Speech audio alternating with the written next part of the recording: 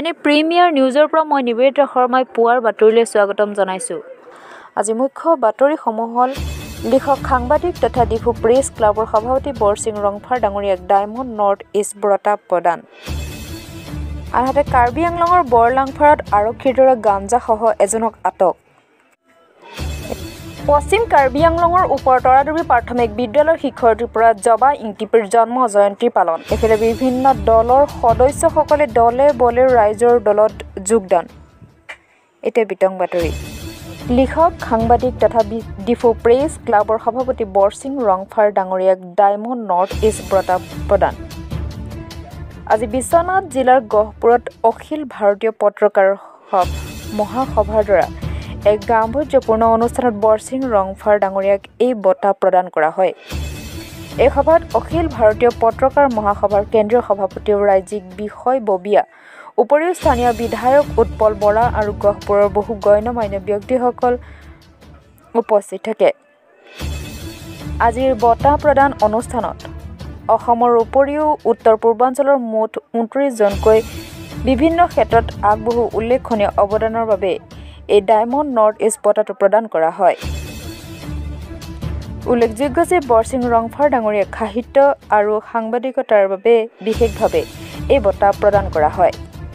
গহপুৰত diamond north east award two thousand twenty one এৱাৰ্ডটো প্ৰদান কৰাৰ বাবে মই অতিশয় আনন্দিত হৈছোঁ আৰু যোৱা প্ৰায় চল্লিছ বছৰে সংবাদ সেৱাৰ প্ৰতি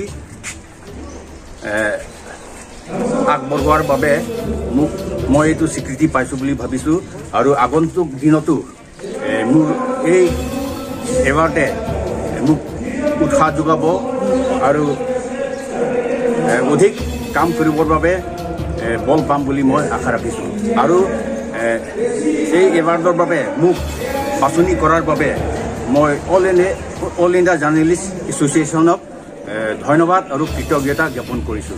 Diphu press club president Borsing Rongphar জিন্দাবাদ। কাৰ্বি আংলঙৰ বৰলাংফাৰত আৰক্ষীৰ দৰে গাঞ্জাসহ এজনক আটক। ডিফুৰ পৰা ত্ৰিছ কিলোমিটাৰ নিলগত বৰলাংফাৰৰ কাউন্সিল গেটত বৰলাংফাৰ আৰক্ষীয়ে তিনি দশমিক পাঁচ কেজি গাঞ্জাসহ এজন লোকক আটক কৰে। আটক কৰা লোকজনৰ নাম ৰঞ্জন মুণ্ডা। তেওঁৰ ঘৰ লাংচলেত গুৰুবস্তিত।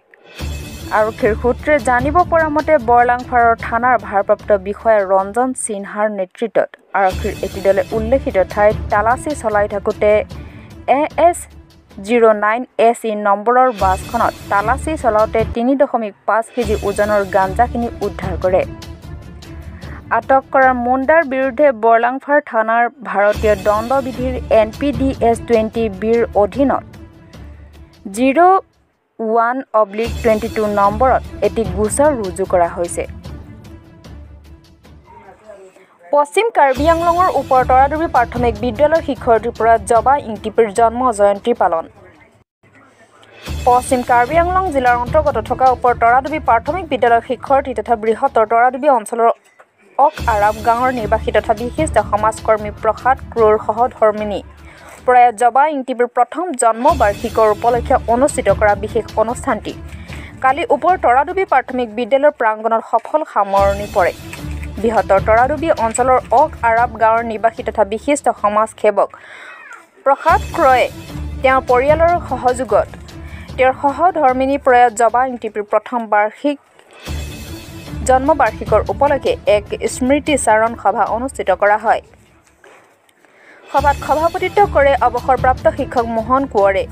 সভাত উপস্থিত থাকে বিদ্যালয়ৰ পৰিচালনা সমিতিৰ সভাপতি জিতেন ক্ৰ। শিক্ষক মীনাৰাম বৰা ৰাণা কাফলে বিষ্ণু নিৰোলা লোচন বৰা স্বামী প্ৰসাদ ক্ৰ পদ্মকান্ত বৰা আদি বিশিষ্ট ব্যক্তিসকল। বিদ্যালয়ৰ প্ৰধান শিক্ষক তিলক চন্দ্ৰ বৰাই উদ্দেশ্য ব্যাখ্যা কৰাৰ সভাত প্ৰয়াত জবা ইংটিপিৰ আত্মজীৱনী ব্যাখ্যা কৰে।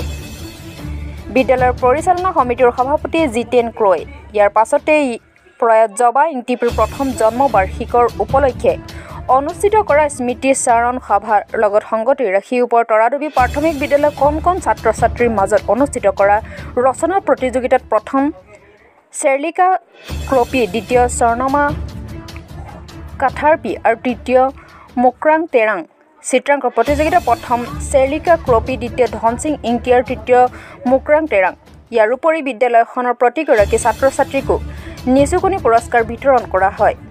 শেষত অনুষ্ঠিত কৰা বঁটা বিতৰণ সভাত সভাপতিত্ব কৰে মোহন কোঁৱৰে। সভাত উপস্থিত থকা বিশিষ্ট ব্যক্তিসকলে বিজয়ী প্ৰতিযোগিতাসকলক পুৰস্কাৰ বিতৰণ কৰে। এইফালে সভাত উপস্থিত থকা বিশিষ্ট ব্যক্তিসকলকো প্ৰসাদ ক্ৰয়ে একোটিকৈ কলম উপহাৰ হিচাপে বিতৰণ কৰে।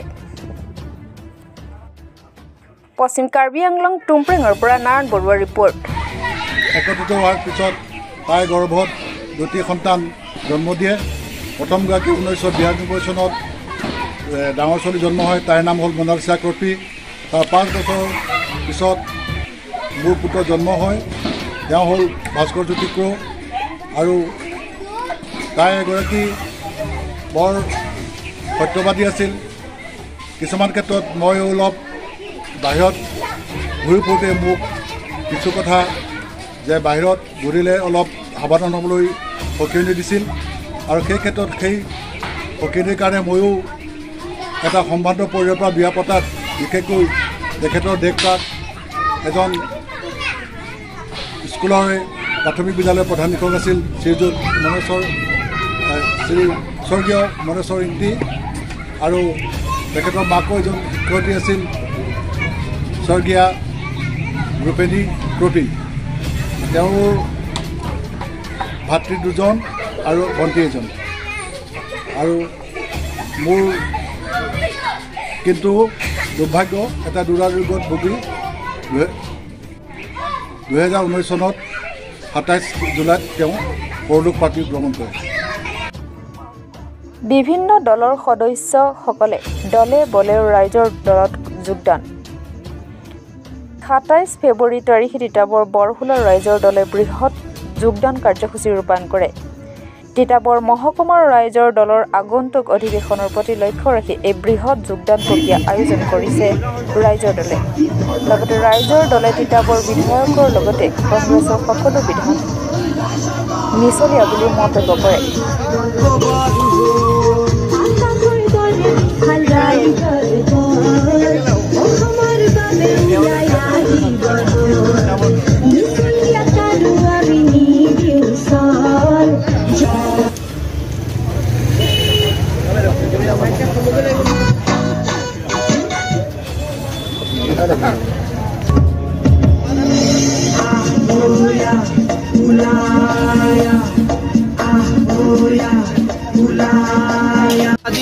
বজাৰৰ মাজমজিয়াতে আমি প্ৰচাৰ কাৰ্য চলোৱা নাই। আমি একমাহ এমাহ দিন অহা এমাহ দিন আমি ৰাইজৰ দলে এক প্ৰচাৰ আৰু আমাৰ সদস্য ভৰ্তি এটা অভিযান আমি আৰম্ভ কৰি কৰিবৰ কাৰণে আজি আৰম্ভ কৰিছোঁ।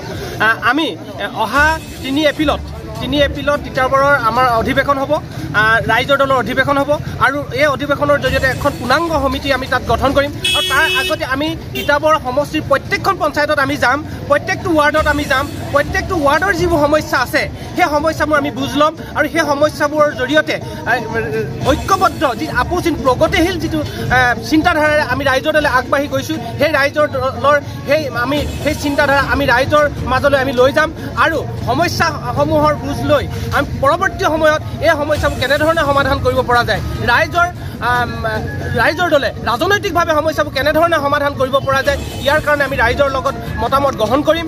আৰু আপোনালোকে দেখিছে বৰ্তমান সময়ত বৰ্তমান সময়ত বিজেপি চৰকাৰখনে যি সাম্প্ৰদায়িক শক্তিৰ জৰিয়তে যি বিষবাস্প বিয়পাই দিছে যি জাতি জনজাতিক লৈ ধৰ্মক লৈ যি ৰাজনীতি আৰম্ভ কৰিছে তাৰ বিপৰীতে আমি ৰাইজৰ দলে সকলো ৰাইজকে সাঙুৰি এক ঐক্যবদ্ধ এক ৰাজনীতিক আমি আৰম্ভ কৰিবৰ কাৰণে আমি আগবাঢ়ি আহিছোঁ। গতিকে বৰ্তমান সময়ত অকল বিজেপিয়ে নহয় কংগ্ৰেছৰ আজি তিতাবৰত তিতাবৰ সমষ্টিত আজি কংগ্ৰেছৰ এজন বিধায়ক আছে। আৰু ইয়াত বিজেপি যিখন চৰকাৰ আছে এই চৰকাৰখনৰ জৰিয়তে তিতাবৰৰ যিবোৰ ৱাৰ্ডৰ যিবোৰ সমস্যা হয় সেই সমস্যাবোৰ সমাধান কৰিব পৰা নাই। আমাৰ লক্ষ্য আমি এই সমস্যাবোৰ সমাধান কৰিব ৰাজনৈতিকভাৱে কেনেধৰণে আমি সমস্যাবোৰ সমাধান কৰিব পাৰোঁ পৰৱৰ্তী সময়ত যিবোৰ পঞ্চায়ত নিৰ্বাচন আহিব বা অন্যান্য যিবোৰ নিৰ্বাচন আহিব সকলো নিৰ্বাচনতে আমি অংশগ্ৰহণ কৰিম। আমি সেইটো আপোনালোকৰ জৰিয়তে আমি ৰাইজক প্ৰতিশ্ৰুতি প্ৰদান কৰিছোঁ। পৰৱৰ্তী সময়ত যিবোৰ পঞ্চায়ত আহিব প্ৰত্যেকটো ৱাৰ্ডৰ প্ৰত্যেকখন পঞ্চায়তত আমি নিৰ্বাচনত আমি অংশগ্ৰহণ কৰিম। আৰু নিৰ্বাচনত অংশগ্ৰহণৰ জৰিয়তে আমি ৰাইজক আমি দেখুৱাই দিবৰ কাৰণে আমি ৰাই ৰাইজৰ দলে কেনেধৰণে কাম কৰিব লাগে ৰাইজৰ কেনেধৰণে কাম কৰিব লাগে এই ক্ষেত্ৰত আমি সেই পঞ্চায়তসমূহ দখলৰ জৰিয়তে ৰাইজে আমি নিশ্চিতভাৱে আমি আশা কৰিছোঁ ৰাইজে সহযোগিতা আগবঢ়াব আৰু ৰাইজৰ দলৰ প্ৰত্যেকখন পঞ্চায়তৰ ৰাইজৰ দলে ৰাইজৰ দলৰ পঞ্চায়ত গঠন কৰিবৰ কাৰণে ৰাইজে সহায় কৰিব। আৰু এই যি আমি আজি সদস্য ভৰ্তি অভিযান আমি আৰম্ভ কৰিছোঁ সেই সদস্য ভৰ্তি অভিযানৰ জৰিয়তে আমি প্ৰত্যেকটো ৱাৰ্ডত যাম আৰু ৰাইজক ৰাইজক এই ৰাইজৰ দলত অন্তৰ্ভুক্ত হ'বৰ কাৰণে আমি আহ্বান জনাইছোঁ। আৰু আজি দেখিছে আমাৰ ইয়াতে আমি প্ৰথম আৰম্ভণি দিনাখনে আমাৰ ব্যাপক ৰাইজসকল আহিছে। ইয়াতে সদস্য ভৰ্তিসকল তেখেতলোকে সদস্য ভৰ্তি অভিযানত অংশগ্ৰহণ কৰিছে। তেখেতলোকে সদস্য ভৰ্তি আজি হৈছে। আৰু পৰৱৰ্তী সময়ত পৰৱৰ্তী সময়ত আমি অন্তত এই এমাহত আমি তিতাবৰ সমষ্টিৰ প্ৰত্যেকটো পঞ্চায়তত বিছ হাজাৰ বিছ হাজাৰ সদস্য ভৰ্তিৰ এক লক্ষ্য আমি আগত লৈ আমি আগবাঢ়িছোঁ আৰু আমি এই কাৰ্যত ৰাইজে সহযোগিতা আগবঢ়াব আৰু পৰৱৰ্তী তিতাবৰত ৰাইজৰ দলে এক নিৰ্ণায়ক ভূমিকা গ্ৰহণ কৰিবৰ কাৰণে আগবাঢ়িব কাৰণ আগবাঢ়িব বুলি আমি আশাবাদী আৰু আমি ৰাইজক আকৌ পুনৰবাৰ আমি অনুৰোধ জনাইছোঁ। আহক আমি সকলোৱে জাতি ধৰ্ম বৰ্ণ নিৰ্বিশেষে ঐক্যবদ্ধভাৱে প্ৰগতিশীল ৰাজনৈতিক দল ৰাইজৰ দলত অংশীদাৰ হওঁ আৰু ৰাইজৰ দলক আগুৱাই নিবৰ কাৰণে আমি সংকল্প গ্ৰহণ কৰোঁ। তেখেতে আজিৰ তাৰিখত তেখেতৰ তেখেতে মানে যে মনটো তেখেতে মানে বিজেপিত থৈ দিছে এনেকুৱা ধৰণৰ সকলোৱে আজি সন্দেহ প্ৰকাশ কৰিছে। আৰু আচলতে কংগ্ৰেছৰ বিধায়কসকল অকল মই ভাস্কৰ বৰুৱাৰ কথা কোৱা নাই সকলোৱে মিছলীয়া। কাৰণ এইটো প্ৰমাণ হৈ গৈছে ৰূপজ্যোতি কুৰ্মী সুশান্ত বুঢ়াগোহাঁইৰ নিচিনা এইবাৰ ভাস্কৰ বৰা ডাঙৰীয়া ওলমি আছে। তেখেতৰ ৰাজনৈতিক বিজেপিলৈ কাহানিকে যাব এইটোক লৈহে এতিয়া ব্যস্ত। তেখেতে উন্নয়নৰ কাৰণে তেখেতে কিন্তু মানে কোনো উন্নয়নৰ কাম কৰা নাই। আজি তেখেতে বৰহুলা তিতাবৰৰ পৰা বৰহুলা যিটো নৱালী ৰাস্তা এই ৰাস্তাৰ অৱস্থা নাই। গতিকে ৰাইজে এইটো আশা কৰি তেখেতক ভোট দিয়া নাছিলে। তেখেতক ভোট দিছিলে যে ভাস্কৰ বৰুৱা এজন নিকা ভাৱমূৰ্তি মানুহ বুলি ভাবিছিলে। কিন্তু তেখেতৰ অন্তৰত যিটো আছে তেখেতে নিজৰ ব্যৱসায় নিজৰ ৰাজনৈতিক স্বাৰ্থত নিজৰ ব্যৱসায়ী স্বাৰ্থত তেখেতৰ বিজেপিলৈ যাব কাহানিকে বিজেপিত মানে জইন কৰিব এইটো কাৰণে এতিয়া ৰাইজে আচলতে বাট চাই আছে। গতিকে আমি ভাবিছোঁ যে ভাস্কৰ বৰুৱাৰ ডাঙৰীয়াৰ জৰিয়তে বা অনা কংগ্ৰেছৰ যিসকল প্ৰাৰ্থী আছে কংগ্ৰেছৰ যিসকল বিধায়ক আছে এইসকলক আজিৰ তাৰিখত আৰু অসমৰ ৰাইজে বিশ্বাসত ল'ব নোৱাৰে। গতিকে এতিয়া একমাত্ৰ ৰাজনৈতিক দল ৰাইজৰ দলৰ অখিল গগৈ যি নিষ্ঠা সহকাৰে অখিল গগৈ ৰাজনীতি কৰি আছে এই অখিল গগৈ ডাঙৰীয়াৰ নেতৃত্বত যি ৰাইজৰ দল গঠন হৈছে এই ৰাইজৰ দলৰ ওপৰতহে এতিয়া অসমৰ ৰাইজৰ বিশ্বাস আৰু আস্থা আছে।